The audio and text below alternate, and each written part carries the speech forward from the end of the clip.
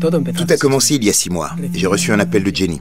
Elle voulait que je réalise un documentaire pour changer les habitudes d'une société qui fait souffrir les animaux.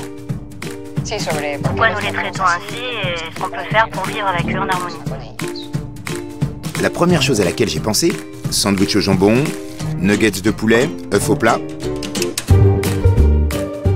Jenny m'a dit que chaque jour, je dors sur un oreiller en plume. Je me savonne avec des produits testés sur des souris. Je me vêtis de laine et je porte des chaussures de cuir. Et je ne suis même pas encore sorti de chez moi.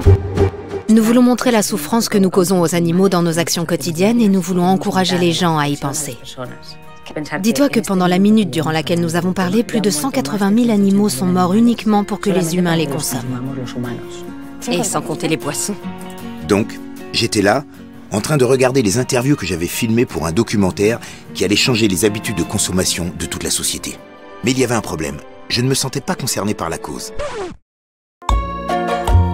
Nous mangeons des animaux juste parce que nous n'avons pas établi de lien émotionnel avec eux.